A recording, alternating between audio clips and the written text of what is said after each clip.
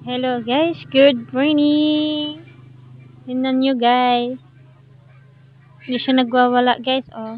Ay, parang nagpapahawak siya. Ah, ganito yun guys. Nakita ko siya sa may baso. Ay, may laman na kape.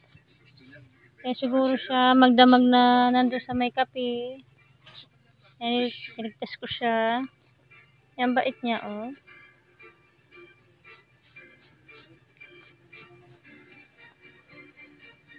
Para siyang little lulong. Mat maya papakawalan ko siya.